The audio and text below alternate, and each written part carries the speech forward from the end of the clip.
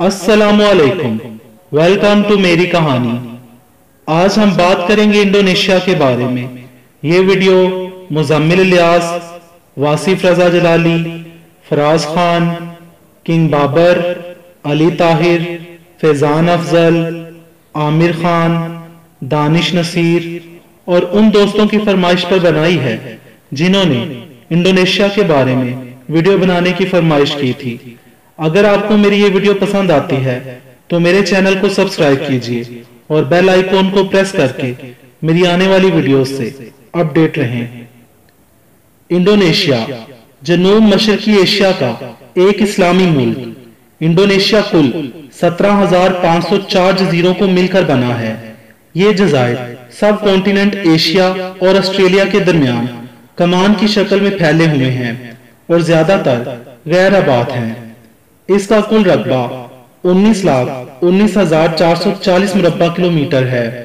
रकबे के लिहाज से ये दुनिया का पंद्रहवें नंबर पर आने वाला बड़ा मुल्क है। इंडोनेशिया की कुल आबादी 26 करोड़ 35 लाख ग्यारह हज़ार के लगभग है। आबादी के लिहाज से ये दुनिया का चौथा बड़ा मुल्क है। यहाँ अठासी फ़ीसद से जायद मुसलमान आबाद हैं। इसके अलावा बारह फ़ीसद में ईसाई बुद्ध, हिंदू और दूसरी अकलीतें आबाद हैं। इंडोनेशिया दुनिया में सबसे बड़ा मुस्लिम अक्सरियत वाला मुल्क है। इंडोनेशिया में छह मजाहिब सरकारी तौर पर तस्लीम शुदा हैं। इंडोनेशी भाषा सरकारी ज़ुबान है। मुल्क में मालाई और पापुआ नस्ल के लोगों की अक्सरियत है।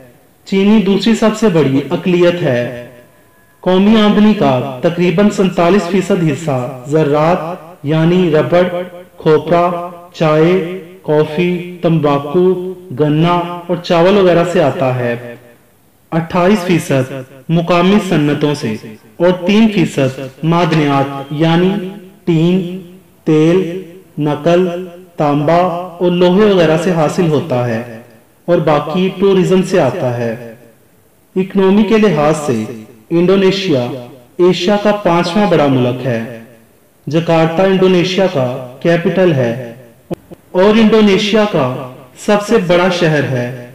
इसके अलावा जकार्ता दुनिया का दूसरा सबसे बड़ा शहर भी है। इंडोनेशिया में दुनिया के सबसे ज़्यादा आतिशविशा पहाड़ पाए जाते हैं। यहाँ पर एक आतिशविशा पहाड़ हैं, जिनमें से ज़्यादातर एक्टिव हैं। दुनिया में सबसे बड़ा आतिशविशा पहाड़ जो फटा था वो अठारह सौ तिरासी में इंडोनेशिया के क्राकाटवा के मुकाम पर फटा था। इसमें लगभग 36,500 लोग मारे गए थे और इससे पैदा होने वाले सुनामी ने दुनिया के मुख्तलिफ़ हिस्सों को मुतासर किया था।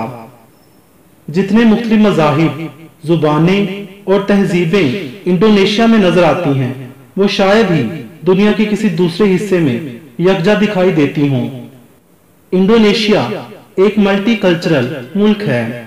यहाँ 300 से जायद मुख्तलिफ़ नस्लों के लोग रहते हैं और यहाँ 700 से जायद जुबानें बोली जाती हैं। इसके कल्चर पर हिंदुओं और चाइनीज़ के असर वाजे दिखाई देते हैं। बाली इंडोनेशिया का एक खूबसूरत आइलैंड है, जो इंडोनेशिया के आइलैंड्स जावा और लंबोक के दरमियान वाक़ है।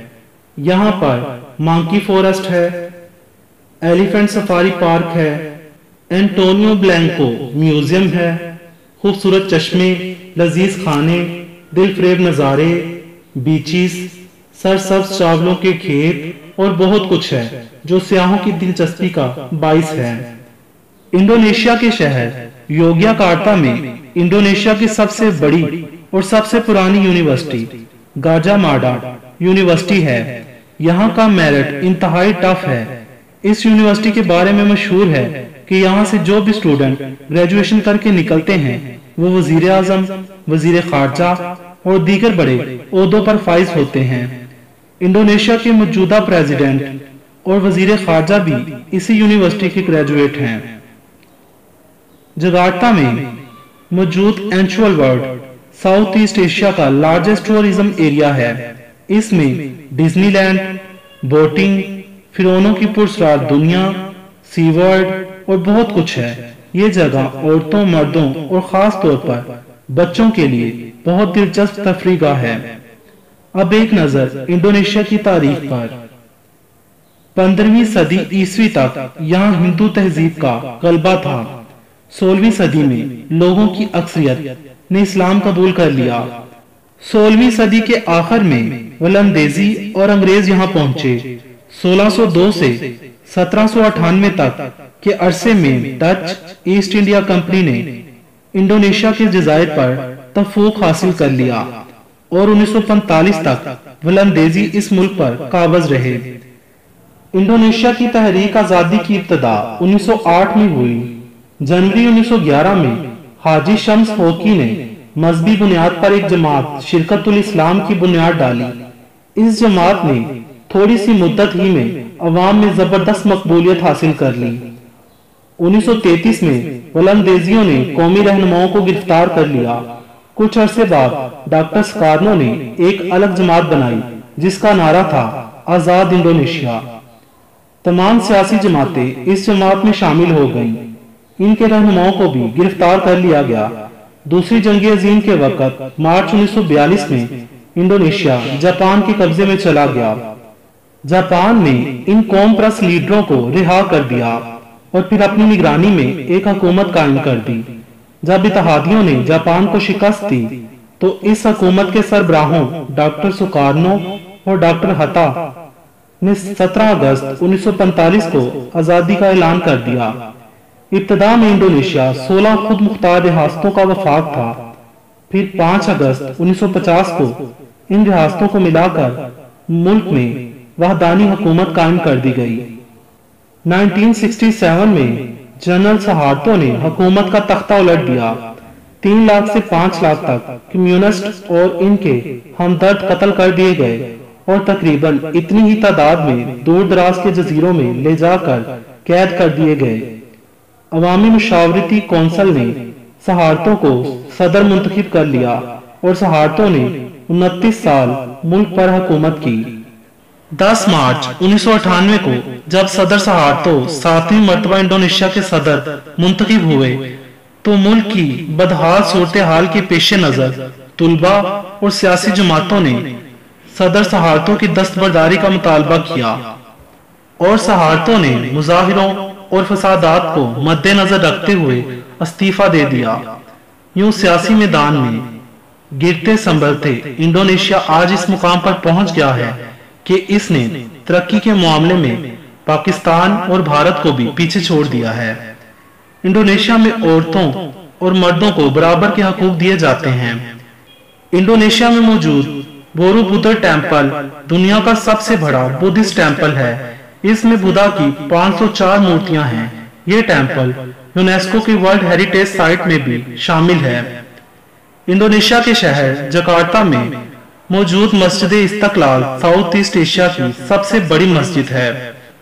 ज़मीन पर पाया जाने वाला सबसे बदबूदार फूल, अमोर, फोफालस, टाइटेनियम भी इंडोनेशिया ही में पाया जाता है। इसकी बदबू तकरीबन 850 मीटर दूर से ही सूंघी जा सकती है। पाकिस्तान का एक रुपया इंडोनेशिया के लगभग एक रुपए के बराबर है। साउथ ईस्ट एशिया का सबसे बड़ा प्रोस्टिट्यूट एरिया इंडोनेशिया का डोली शहर है। 2014 के बाद से जिस पर पाबंदी लगा दी गई, इंडोनेशिया के जुनूब में सोलोवासी सूबे के तारोजा गाँव में आबाद लोगों में एक फेस्टिवल मनाया जाता है, जिसका नाम है मानेने। गाँव के लोग अपने मुर्दा रिश्तेदारों की डेड बॉडीज को कब्रों से निकालकर उन्हें नहलाते हैं, नए कपड़े पहनाते हैं। मुर्दे के साथ तस्वीरें ली जाती हैं और भैंसे की बलि दी जाती है और मुर्दे को पूरे गाँव में घुमाया जाता है। जब ये जश्न खत्म होता है तो मुर्दे को दोबारा नए ताबूत में डालकर दफना दिया जाता है। ये मुर्दे को कपड़ों की कई तहों में लपेट कर दफनाते हैं ताकि मुर्दे का जिसम महफूज रहे। इनकी कब्रें ऊँचे ऊँचे पहाड़ों में बनाई जाती हैं। ये रस्म हर तीन साल बाद होती है। इसका मकसद मुर्दे को यकीन दिलाना होता है कि हम अब भी उसके साथ हैं। चाहे उसे मरे सैकड़ों बरस गुजर गए हों। उनका मानना है कि उनके प्यारे मरे नहीं, बल्कि बीमार हो गए हैं और गहरी नींद सोए हैं। कोमोडो ड्रैगन, इंडोनेशिया का कौमी जानवर है। और इसे दुनिया की सबसे बड़ी छिपकली भी कहा जाता है। हॉक ईगल, इंडोनेशिया का कौमी परिंदा है और मोतिये का फूल यहाँ का कौमी फूल है। दोस्तों, अगर आपको मेरी ये वीडियो पसंद आई हो तो इसे लाइक करें, शेयर करें। कमेंट्स में मुझे अपनी राय देकर ज़रूर आगाह कीजिएगा। मजीद वीडियोस के लिए मेरा चैनल मेरी कहानी सब्सक्राइब करें। वीडियो देखने का शुक्रिया।